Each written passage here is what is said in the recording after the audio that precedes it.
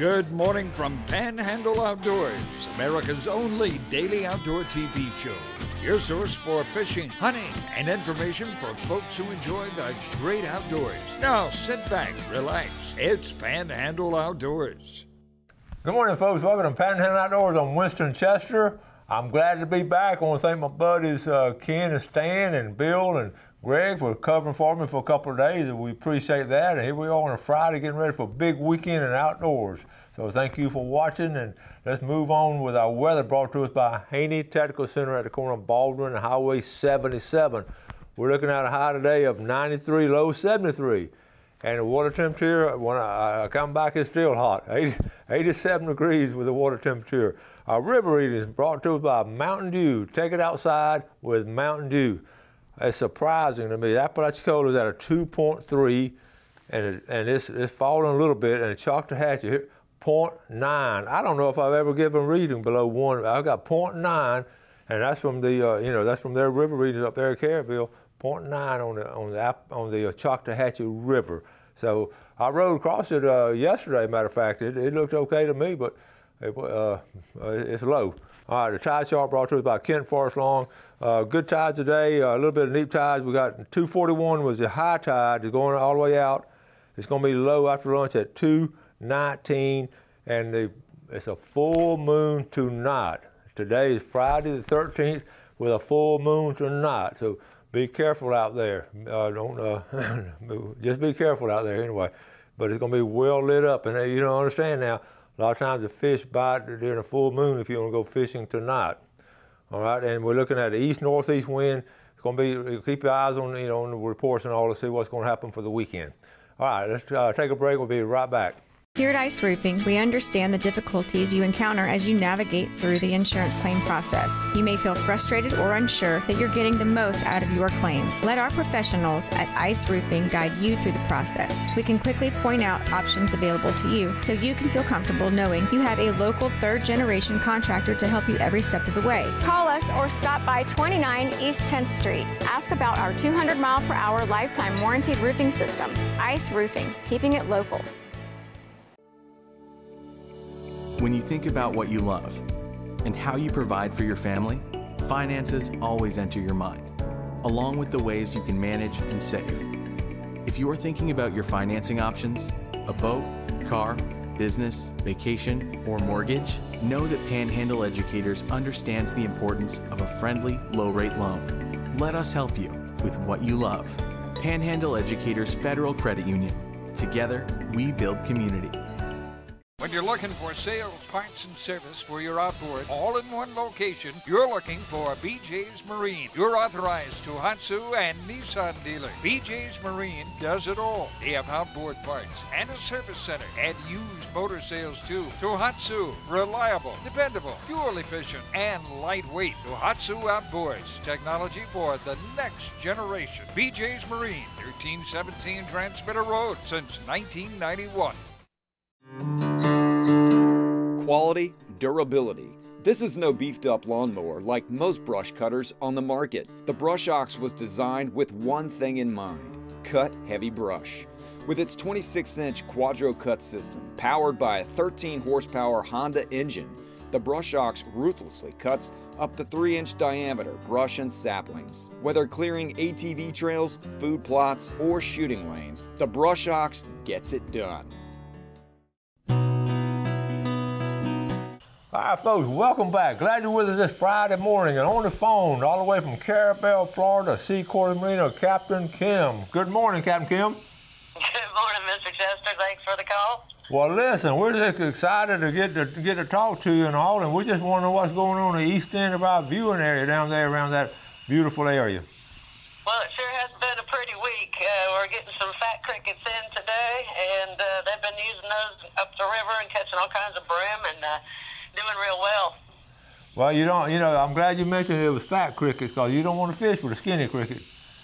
no, we sure don't. So y'all, y'all got crickets and worms right there, right? Yeah, and it's great because it gives you an opportunity to go up the river in case it's a little too sloppy out there uh, in the bay. So it's nice to be able to do a little bit of both. And they've been catching a lot of brim? Yeah, yeah, good size ones. They've been doing real, real good size. Uh, good deal. Now listen, I hadn't talked to you much about uh, down on way down your way. Uh, y'all been getting into scallops this year? Yeah, there's uh, not been too many folks uh, that I've seen going out, but the ones that are going out are bringing back their limit. So they're and they're good size, so they're doing real well. Well, that's good to hear. Where do they go down to that area, roughly? It, a little bit towards Lanark. From uh, if we go out the mouth of the river, just to, you know, hang that left there, uh, just before Lanark has been pretty good with the with the grass and stuff in there. Good deal. Okay, uh, real quick, uh, trout and redfish, flounder, anything going on there? Yeah, they've been doing real good with that, just right here in front of the office, uh, and just down towards the towards the mouth of the river.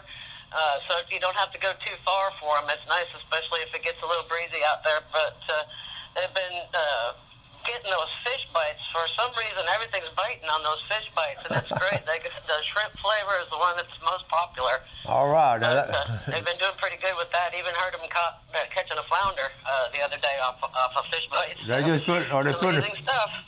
Are they putting the fish bite like on a jig? yeah, the, well, both ways. The one guy had uh, uh, the trout and just used a regular hook. So either way, as far as I'm learning, they're they're catching it on just about anything anymore. That fish bite is amazing. It really is. I'm glad y'all Yeah. use it. I'm glad y'all use you. You have them down there? Oh yes, sir. We got plenty. We got uh, assortments. Uh, Awesome. Pan flea and the shrimp and crab. We got them all. I love it. A while ago you said just catch, they catch them right outside the office. Now you don't get it better than that. No, that's for sure. It's fun to watch too. Oh, great. Captain Kim, great talking to you, and y'all have a great weekend. You too. Appreciate it, Mr. Chester. Thank you. We'll see you soon. All right. Thank you. Bye bye. Hey, that's a good report right there. I, I love it when you, you catch them right outside the office. You work a little while and go fishing a little while. Uh, only in special place down there. They've never been. Just need to ride down there and look around. Let's look at some pictures. I want to catch up on some pictures. I, I've been uh, out of town, and on the way out of town, Gail and I were going through Bonifay the other day, and I, I saw this old wooden boat behind a truck, and I made a U-turn right in the middle of downtown Bonifay pulled up there, and, and we, it was a traffic jam. Two or three other guys in pickup trucks pulled up beside me and behind me. To know about this truck, about this uh, old wooden boat. I talked to the guy pulling it, and I, you know how I love old wooden boats. This is a this is a Higgins boat, okay? I'm sorry, a Higgins boat right here, and he bought it from original owner. He had from North Carolina. He was on the way taking it over there to uh, New Orleans or Mobile to get finished out. The Higgins, if you remember the Higgins brand, that that's a company that made the landing craft on the D-Day invasion. Uh, they put them together down there in New Orleans, and that is an old wooden boat, 1947. And I just have a deep appreciation for old wooden boats, and we've talked about them before with our Carter craft, but we made U-turn. The city manager of Bonifay, he pulled in behind me, he jumped out, and uh, this guy, boat is for sale. If you're interested, uh, uh, I think he wanted twenty thousand dollars. I asked him would it take eighteen. He he hesitated. I said that's okay. I don't have eighteen anyway. But anyway, that that's cool. Okay, just briefly up there. I went up there to Tennessee to visit with my kids, and uh, this is what they do after church. Isn't that fun? That's Mason, my grandson right there, his best buddy, just fishing. That, now that's on church grounds. That's not bad, is it? Okay, how about Cassie Owens King, one of my former students? Always a good day when you're throwing 23 inches back, 23 inch redfish and they're throwing them back. Blessed to live in God's country. Good job there, Cassie. Great picture, great sky shot, and uh, I think I know where y'all are right there. Scallops, we, I know y'all might be tired of hearing about scallops, but we're going into the last weekend. One of my former students, uh, Beth Ellen, on the left there. And then uh, I don't know that guy, Alex Fogg, but there at Blacks Island, you see the situation. And I know Bill and Greg talked about it the other day, but everybody getting bagfuls of scallops this year. You pretty smiling and a pretty young lady. I'm glad she's still doing outdoor stuff. Email, good evening, coach. Uh, I spent Sunday morning with my son and two of my grandsons fishing. I'm sorry, Saturday morning. He spent Saturday morning fishing with his son and two grandsons. We didn't catch many, but it was about teaching young boys and enjoying the day with them. Grandsons Jeremy and Jarrett Rogers had a blast catching a few fish. And Granddad had even more fun. We enjoy your program. Thanks for all you do, Steve Rogers. Okay, so here's here's Jeremy and Jarrett. Okay, a couple of pictures out on the river. And is that not a great shot right there? That's a framer. And later on, uh, that's going to be appreciated even more. Look at there. And you ain't got to catch a lot of fish, but boy, look at that smile. They happy. Another picture. This comes from the big river. Uh, David Bird sent this. These are the flies on the willow tree. Can y'all see them? I'm sort of blowing them up right there. Uh, the one picture. Here's another picture of them too, blown up even more. See all the flies. When I remember, I've talked the last couple of weeks about uh, catching a lot of fish down river, fly fishing and all, and, and this is what they're doing. They're catching some uh, as they get uh, shake the bushes, and those flies will fall out on the tree and all. Okay, uh, one more, then we're gonna have to take a break. David Rich at Rich's IGA in Wewa in search of a small mini goat that likes to eat cigarette butts out of the parking lot. so, you know, you see a lot of cigarette butts in the parking lot. So that would be a good idea if you maybe uh, start uh, raising some of those. All right, let's take a break. We'll be right back. GAC Contractors is the leading provider of road, site, and building construction in Northwest Florida. At GAC Contractors, we work closely with the owner, engineer, and architect to provide quality work that's completed in a timely and cost efficient manner. Our gold standard level of quality is translated to projects of every size, from multi million dollar design build projects to building remodeling projects and residential subdivisions. Since 1958, GAC Contractors has turned a commitment to customer satisfaction into countless successful projects.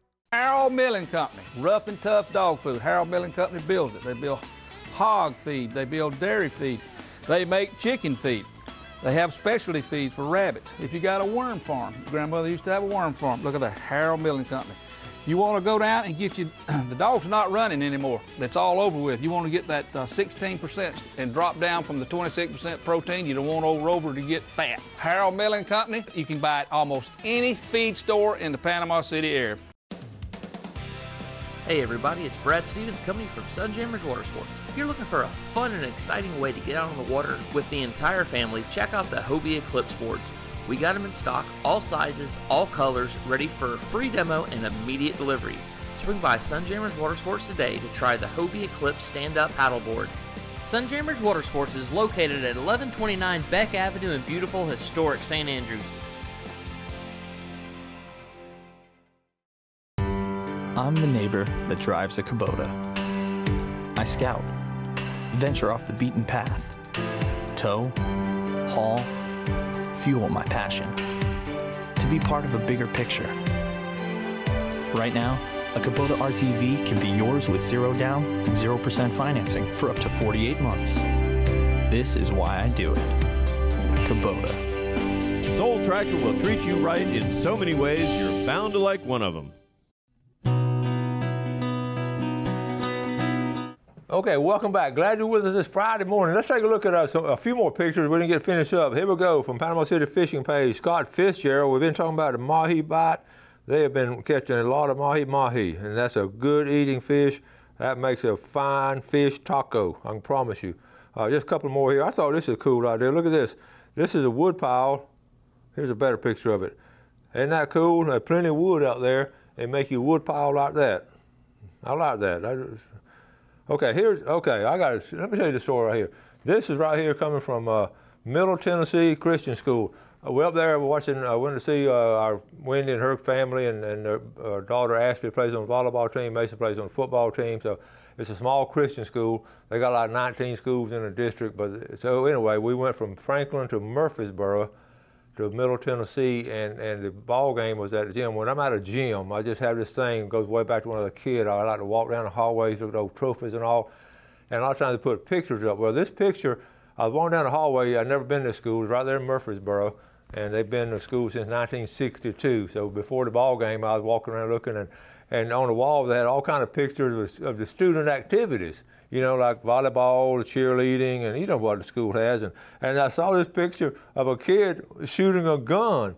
And what they have there, they have a skeet shooting team at their school.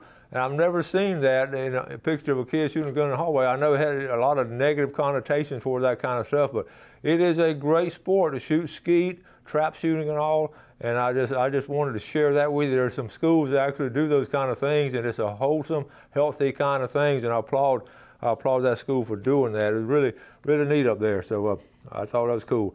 And this is why, this is why having a pet door in Florida is a bad idea.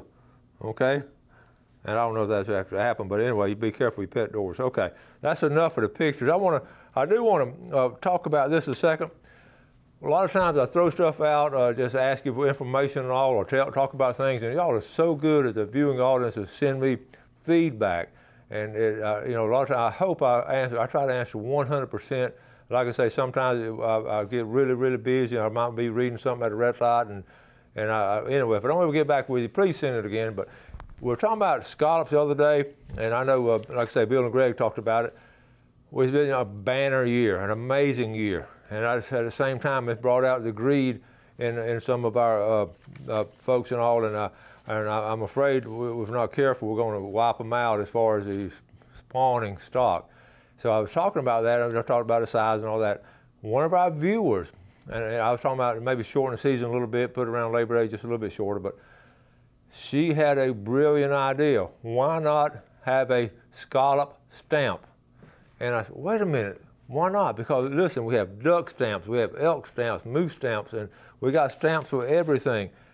And Ducks Unlimited, uh, we started this Ducks, the federal government started a duck stamp program many, many years ago for the, because of the slaughter of so many of the waterfowl, and they wanted to keep the population going. And you can draw so much of a parallel between the scallops and the ducks. So they started that to increase the, the conservation areas, the wildlife, wetlands, and it's been a tremendous success story in the Mississippi Flyway especially. What if we had a, a scallop stamp, $10, all stamps are $10, and, uh, you know, that money, it would go, I wrote down, I took some notes together. I got, uh, uh, first of all, you can buy a bunch of new cages. You know, we talked about these cages when we were talking about the, uh, here in St. Andrew Bay and all, we, people, uh, FWC was helping, we're getting the little, little baby ones, putting them in the cages, and then they can spawn in an enclosed area. Just get hundreds and hundreds of cages all throughout St. Joe Bay and St. Andrew Bay and what a great opportunity to increase your population. I mean, I, I got really, I was, I was talking about that, and uh, the more I thought about it, uh, you're talking about $10. And all that money would go toward uh, the scallop restoration and make sure the grass beds are in good shape. And that would be a tremendous, I, I know nobody likes anything extra like that, but you give it some thought and look at it realistically, and it would even, with that kind of pressure we have on it now, it could sustain itself if we did that. So keep that in mind. And uh, I, I, thought we could even start, instead of Ducks Unlimited, we could start a chapter of Scallops Unlimited, but that, that might be going anyway. And also put some money, set some money aside in a reward, uh, re to give people rewards for reporting the people who were being, you know, getting more than, than they thought. I had a friend call the other day, he, he said that he was up in Panama City, and so his buddy called him from St. Joe Bay, hey, bring another boat down here. We got so many scallops, we, we need to put another boat so we can have, be on a legal limit. That's what's going on now with, with so many people and all, and some people going 10 and 15 times in this little short season. So uh, it, it's something we're going to have to something we're going to have to handle now. If not, we're going to reap the consequences of a of a depleted uh, uh, stock of, of, those. So we need to take care of them. All right. Also, I had a I wanted to mention uh, speaking of feedback, someone asked the other day, I had a little video on my catawba trees. Where can you get catawba trees? Uh, I, I can't remember the guy's name. He's up there in Alpha. Uh, the guy that had some, and I don't know if he still has them after the, after the big storm or not. But if you know of anybody uh, selling catawba trees, in fact, I'd get a few more myself. Please let me know. I can pass it on to our viewers. And also the uh, dove shoots. I'm talking about dove shoots. You got any kind of Anybody having any paid dove shoots? I have some viewers that would be glad to pay to go on a dove shoot. So keep that in mind as we approach the weekend and all. And uh, dove season opening up September 28th, which is two weekend, two Saturdays from tomorrow. It'll be opening up. So keep uh, keep all that in mind. Okay, here we are. Uh, let's go ahead and do. I got several more things. I put this show together last night on the bleachers of a volleyball game. So uh, hope you Appreciate it. Got to get back in, get back in the groove. Tarpon Dock Seafood giving away $20 gift certificate. The winner's going to be, how about Mark Stafford from Parker? Mark's a loyal viewer. And,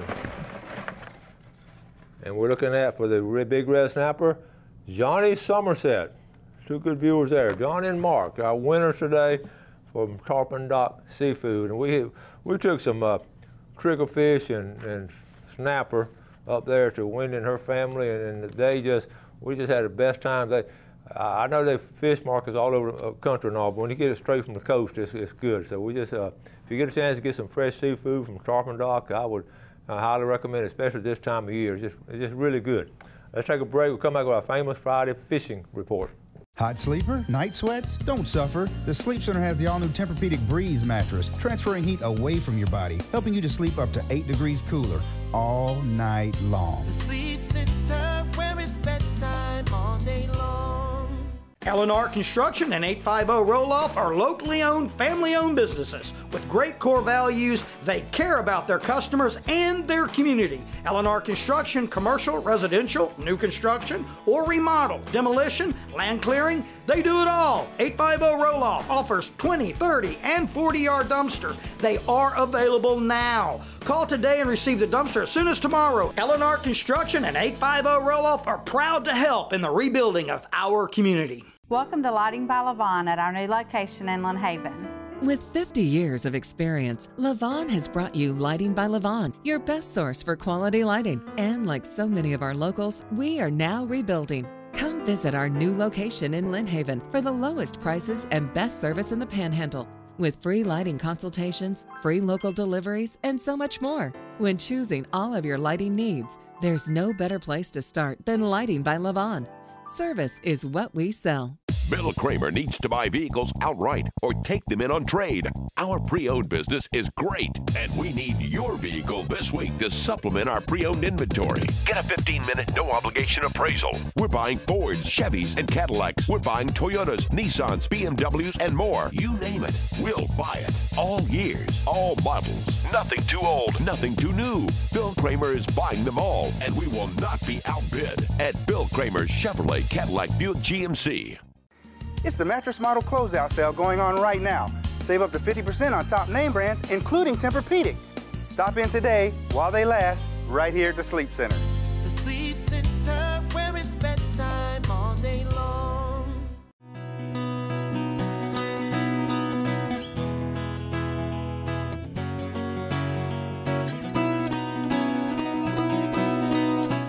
Okay, welcome back to our fish report. Now listen, we've got all kinds of things going on in the big tournament this weekend. Michael Harris's Season of Hope. It's going to be headquartered. Take a look at this right here. This is a Hathaway Bridge. We're going to be down here at this marina right here. See that big marina right at the foot of the Hathaway Bridge? And it's going to be a good time had by all, good music and all, weighing around 3 o'clock. And some good stuff going on. So you get a chance, go there. My first uh, report's going to come out of Choctawhatchee, uh, Choctawhatchee Bay and Choctawhatchee River from Larry Brown. Uh, right here, lots of bait and mullet in the east end of the bay. Still only a few trout, but redfish are picking up. Now, this is coming from a guy now who fishes all the time. So this, this, is about the best report you can get. Instead of reading online, this is coming straight from the guy, uh, my buddy Larry Brown. The larger reds are deep, mid-bay. Mid-bay is best. Now right in the center part of the Choctawhatchee Bay. So let's get over here to Choctawhatchee Bay, where he's talking about. All right, right here. That's Powell Lake, Powell, Lake Powella. Okay. Right here. Mid Bay right there. And okay, we got it, Jeff. All right. Now, right mid Bay, we're talking about mid Bay. Water conditions are good, color is good, and the temperature is 80 degrees. The river color is good, and the temperature is 78 over there.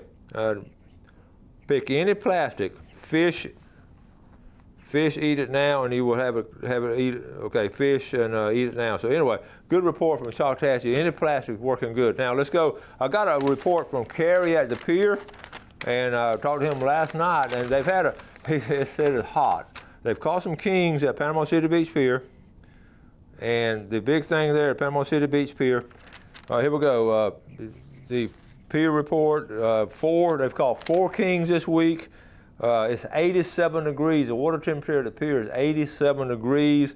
The uh, three, the three or four kings they've caught. Uh, let's see, Spanish. They're catching the Spanish, but the Spanish are on the small side. And overall, it's been a fair summer. This summer, he said, has been better than last summer. Last summer was really off, but it's been a fair summer. They've really been pleased with the fish they've been catching. And, and he and I both talked about, you know, the fall migratory run we're going to have a uh, feel like we're going to have a good run this year, and it's going. But it hasn't started yet. Don't don't get excited about the fall run. It's still too hot and all. Uh, okay. Also, let's go down to uh, the bay system here. I did I did want to say the the redfish in the bay last weekend on, uh, on Saturday and Sunday and Monday night. I got a lot of pictures redfish were really, really hot last weekend in the St. Andrew Bay system. A lot of redfish were caught. You saw the picture I showed of Cassie Owens, and they were throwing back 23 inches. So it was just good all over. Uh, we have a the near shore bite, of course, uh, you saw the picture right here. The mahi are still being caught near shore. They've been a good run of them for the last three or four weeks. They've been really solid. In fact, this is probably the last weekend that I will actually show. This will be the last weekend. I don't know how, what happened there. The last weekend, I'm going to show the. Uh, I don't know where we are now. Oh, here we are.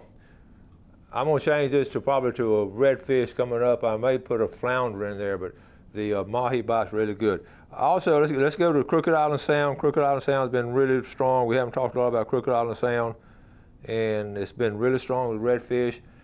And surf fishing is still a little bit early. You got if you got to get up early. Speaking of getting up early, I wrote down on the on the freshwater. I said I wrote one word early. The folks that fish in freshwater going really early. They're catching them on. Well, you heard uh, Captain Kim, crickets and worms. But fish early by 10 or 11 o'clock, you, have had it for the day. And it, again, on the speckled trout in the bay, he's talking about fishing early. Fish early, but if you want to fish a little bit later, they're going to be deeper. Remember how that heat is. The fish going to just go down. When it starts warming up, they're just going to go deeper. Okay, so if you're going to fish in the middle of the day, do fish at that time of day. Okay, uh, now also we're going to uh, go down to St. Joe Bay one more time. Last weekend of scallop season. If you do go scalloping this this weekend, again, uh, it's no no secret they're everywhere. I, I, can't point out a hot spot, but they're everywhere. It goes out Sunday. I don't know how the weather's going to be, but uh, it looks like it might be okay. The biggest thing, this hurt us last time we went. We've only been a couple of times this year. Ironically, we we've just been so many things going on. But when you get that, and watch your weather, I want I want to show you if you get that northeast wind and it looks like it's going to come out of northeast. What happened on St. Uh, St. Joe Bay? Be aware of that northeast, which is right here. And so if, and we were trying, I had my little granddaughter with me, and we were going to go out uh, and, and scallop in here, but all the waves, in fact, first time in my life I've, I've turned around and gone back from Eagle Harbor. I just, uh, I just didn't, I've got a little 17 foot boat, and you got a 10, 15, 10 or 15 foot coming across here. If you got a small boat, it's a problem. You got, a lot of y'all got these bigger boats it's no problem at all. And like I said, the thing to do this year, the cool thing to do, what everybody's doing, coming down the Intercoastal Waterway, right here to White City, coming out here, and then going back. It's a, uh, how long, people have said, how long does that take? It takes about, on the average, according to what size motor you have, if you're going to make that trip from Panama City to St. Joe Bay, it'll take a solid hour on, on a big motor and running pretty, pretty fast.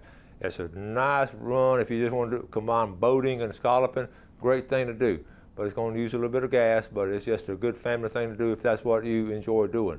I personally like to just drive down there, get a boat ramp, and get out there as fast as I can. So uh, anyway, the scalloping is going to be strong again this weekend, and uh, we're going to run out of time. So thank you all so much for watching Panhandle Outdoors. We appreciate the viewership.